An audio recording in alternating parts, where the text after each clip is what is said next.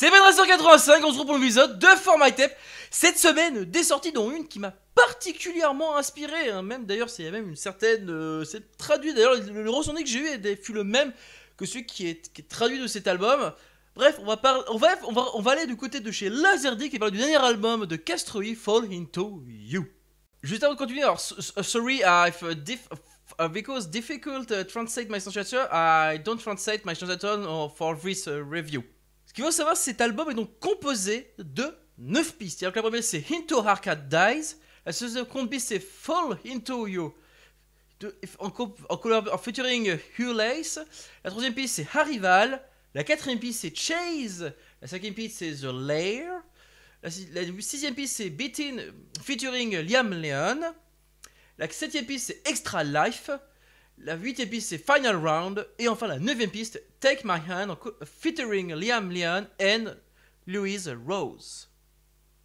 On commence par la première piste, Unto Arcade Dice. Alors là, on est littéralement dans l'ambiance de cet album.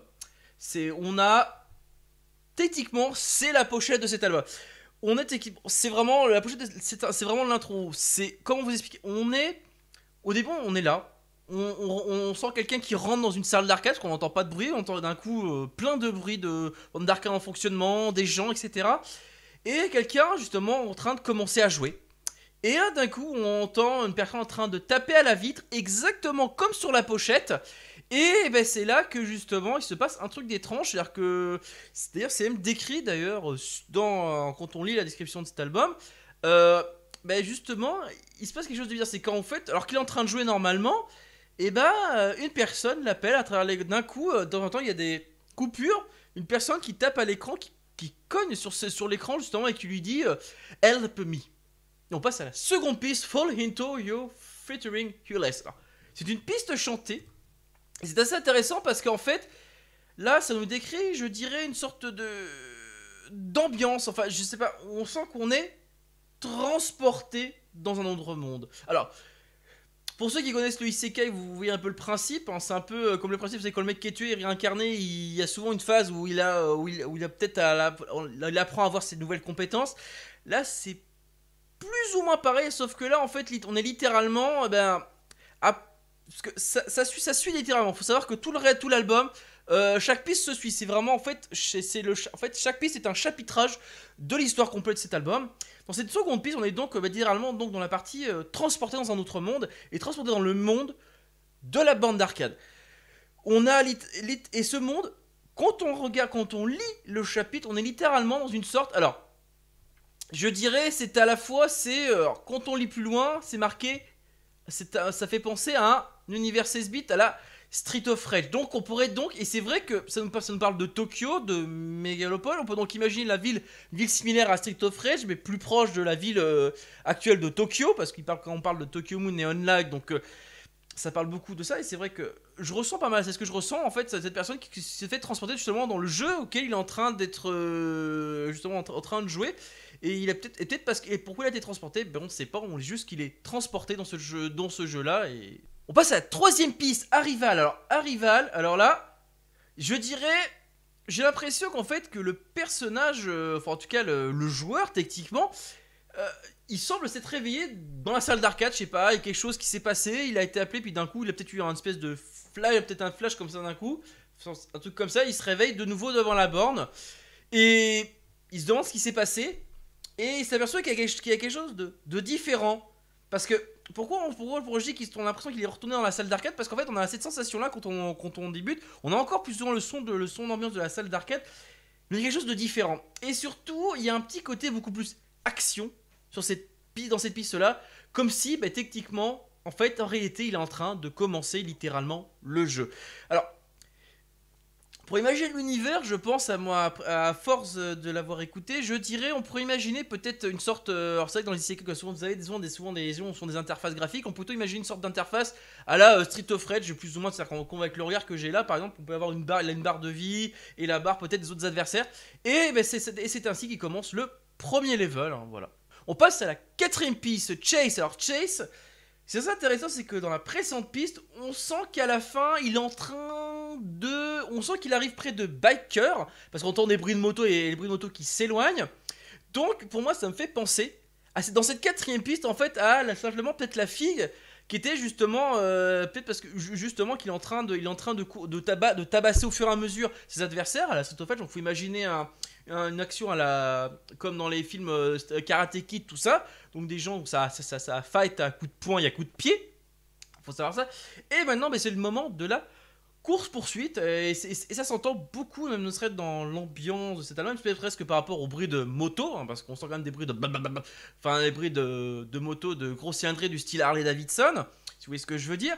Et donc bah, c'est cette partie là c'est la partie justement de course poursuite euh, des bikers peut-être en train peut-être à tabasser peut-être 2-3 bikers au passage on passe à la cinquième piste, The Lair, autrement dit, Londres la zone du méchant. Oh là là là, bah oui, quand, bah oui, je dirais même c'est l'antre du boss, du, le boss du jeu, vous savez, la boss de fin du jeu. Et eh bon, on y était totalement parce que dans cette piste là, vous l'entendez tout le long. Mais alors avec la musique en ambiance qui montre très clairement en fait que le boss, il est bien plus, ce boss de jeu, il est bien plus puissant qu'il en a l'air. Et ça se sent parce que ça se sent au niveau des dialogues, parce que en fait, on sent littéralement le joueur se faire littéralement humilier alors qu'il avait réussi, on va dire, avec, euh, avec l'habitude sans doute, à réussir à, on à fracasser, euh, à fracasser euh, du, à fracasser du crâne, enfin du cas à faire, à faire, à, donner du poing et du coup de pied. Et ben là, il y a, il a énormément de mal, il n'y arrive quasiment pas et il se fait battre parce qu'on entend vers la fin une sorte le son qu'on pourrait entendre lors d'un game over parce qu'on entend tout simplement euh, euh, comme si le son était terminé mais on a toujours l'impression que la lumière on ça s'éteint enfin de manière on s'est dit on a l'impression qu'en fait il est en train de refermer les yeux. Et c'est là qu'on passe à la sixième piste Beat Beatin en collaboration avec Liam, Liam et là quand on, quand on relit la piste quand on lit euh, quand on traduit littéralement ce qui a été mis on sent très clairement, oui, qu'il a été battu, mais surtout qu'il est revenu en arrière, autrement qu'il est revenu dans la salle d'arcade. Et cette piste-là, ça nous dit très clairement, on a clairement le ressenti du personnage. Il a, va dire, il a perdu, mais euh, voilà, on va dire que c'est... Euh, et il a envie de plus se faire battre comme ça. Parce qu'en fait, on dit, on dit il était trop sûr de lui, il a sous-estimé le, le boss, il s'est fait avoir, et justement, eh ben, plus jamais ça, plus jamais ça. Et c'est donc là qu'on est donc en partie. Pour moi, cette partie-là, euh, si on devait être un, si on devait être un film, ça ferait passer peut-être plus ou moins à, à, un repassage de niveau, mais plutôt un repassage de niveau à la roguelike. Pour ceux qui connaissent ce genre de jeu, vous savez où le jeu en fait où les, où les chambres sont passées de manière aléatoire. Ben là, c'est plus ou moins pareil. On recommence, on recommence. Si la salle d'arcade c'est le premier niveau, ça ne change pas. Et ben là, ça va changer littéralement. Autrement dit, c'est-à-dire que là, il doit recommencer à zéro.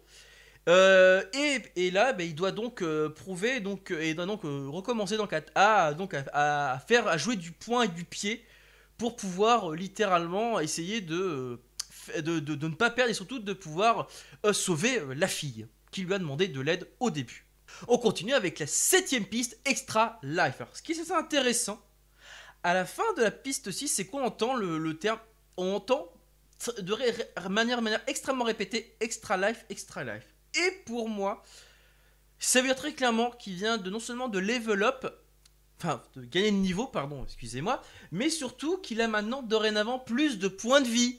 Il peut taper plus fort, etc. Autrement dit, bah, au fur et à mesure qu'il vient de bah, au fur et à mesure qu'il qui, fracasse, euh, qu'il envoie des potes dans la bouche, qu'il échappe, on va dire qu'il fait évacuer deux ou trois dents, hein, voilà le terme que je pourrais employer, et ben là, il commence à gagner en expérience et surtout en point de vie.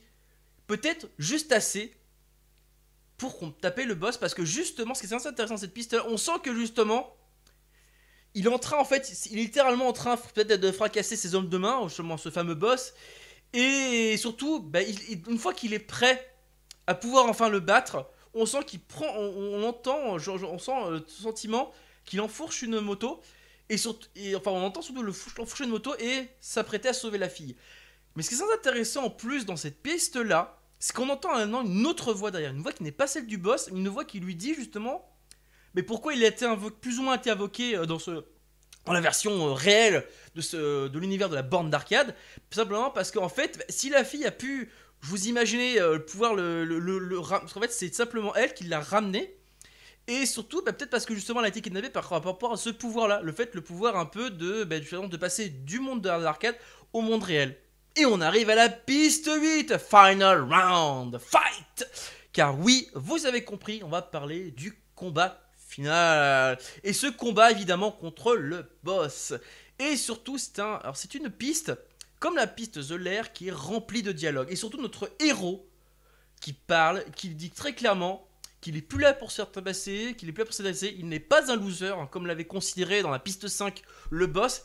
Et il finit donc, ben, tout simplement, ben, à force de à force de comment on pourrait dire ça, de dialogue coup de poing, bah oui, car il y a littéralement du dialogue et des coups de poing. Je pense il y a un peu des deux, je pense, dans cette scène-là. En tout cas, on, le ressent très clairement dans les paroles et même dans l'ambiance de la, de la musique. Et ben, dans cette piste-là, évidemment, il finit par battre le boss. Mais ce qui est intéressant, c'est la manière dont il, l'achève, parce que on entend un no comme si en fait il le jette, comme si justement en fait il le jetait d'un toit. Enfin, en tout cas, on sent qu'il le jette euh, d'une certaine hauteur. Donc peut-être qu'en fait, tout simplement, ben, le combat final qui a lieu peut-être peut avant et après, ben, peut-être a lieu en hauteur. Et on termine avec la piste 9, Take My Hand, featuring Liam Leon et Louise Rose. Alors, ce qui est intéressant avec cette piste, bon, évidemment, c'est la dernière piste, il réussit à sauver la fille il réussit à sauver la fille et donc forcément alors Liam Neeson c'est celui donc qu'on avait compris donc en fait qui incarne donc c'est donc c'est donc la, voix du personnage donc du héros euh, masculin qui a donc fini par qui a donc vaincu le boss etc et surtout Louise, Louise Rhodes donc là c'est la donc la voix qui va donc c'est la chanteuse qui a donc incarné la voix de, de la fille donc il le remercie de l'avoir sauvée. Et donc on a donc et donc et certainement c'est tout ça tout ci tout ça. On a donc toute cette partie là où justement ben, on sent qu'il y a quand même vu comment ça part, j'ai l'impression que ça part quand même une certaine romance. Hein, quand même, on a le bon sentiment là que ça part quand même en romance, etc. Il l'emmène peut-être sur sa moto à se balader, etc. Euh, je, vois bien, euh, je vois bien la scène comme ça où il l'envoie justement peut-être, voilà, peut-être enfin la, la changer peut-être son statut. Mais surtout, ce qui est assez intéressant, cette piste-là, c'est plus ou moins vers la fin que je vous explique.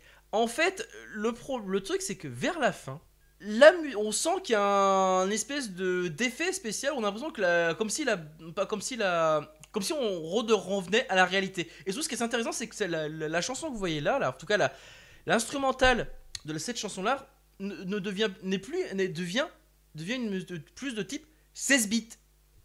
Et ce qui est intéressant, c'est que on entend également le la voix du continue. Et, et enfin, l'introduction d'une pièce. Et ben voilà, monsieur, ce que j'ai sur cet album. En tout cas, si je devais le résumer, on est donc dans une histoire. Donc, euh, alors, je dirais entre. Alors, je dirais, en fait, de manga, je dirais Isekai. Isekai dans un univers Street of Rage, mais avec un petit côté roguelike, si vous voyez ce que je veux dire. Donc, on a au moins ces trois mélanges-là. On est donc dans, on est donc dans cette.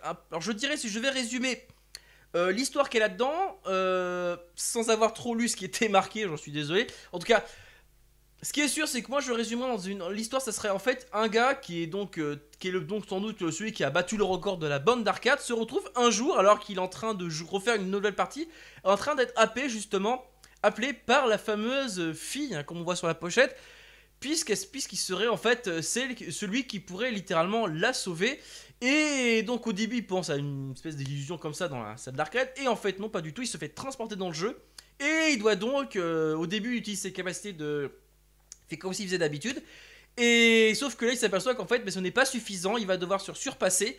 Et c'est ce qui et c'est ce qu'il fait justement, il se surpasse et il finit justement par battre ce fameux euh, boss, justement ce fameux boss qui en fait euh, connaît le pouvoir qui, le pouvoir de la fille qui permet donc de se, de se transcender, donc de, dire de, passer de, l'univers de l'arc de la l'univers de la bande d'arcade à l'univers réel. Et ce qui se passe c'est qu'à la fin en fait, on se demande en fait si c'est cette histoire elle est pas un peu inventée parce que quand même le fait que par exemple que la musique par exemple qu'on entend euh, ben, elle, soit elle soit en 16 bits et non pas en et non pas de manière beaucoup plus euh, et non pas en 24 bits ou est-ce que je veux dire ou en 32 je crois c'est 32 bits plus. Enfin bref, on sent une musique plus plus une, chanson beaucoup plus euh, sortie d'une console d'une console rétro, je parle de ma Mega Drive par exemple ou d'une bande ou d'une borne d'arcade. Et surtout ce qui est intéressant c'est qu'on a le son du continue. Oui, donc si en fait tout simplement en fait le gars était en fait peut-être peut été aspiré sur la bande d'arrivée et peut-être qu'il y a une autre personne qui arrive derrière pour continuer l'histoire. Voilà. En tout cas, une chose est sûre, thank you Crash for Festival, thank you. Et bien voilà, cette review est maintenant terminée. J'espère que ça vous a plu. N'hésitez pas à me dire ce que vous en avez pensé. Hein, c'est pas très compliqué pour exprimer votre opinion. Euh, pouce bleu ou pouce rouge, hein, c'est pas très compliqué. Euh, il y a un petit commentaire tant qu'il est constructif, il est bon à prendre. Hein. Sachez que vous pouvez me suivre sur les réseaux sociaux, que ce soit Facebook ou Twitter, sachez que les liens sont disponibles en haut de la chaîne.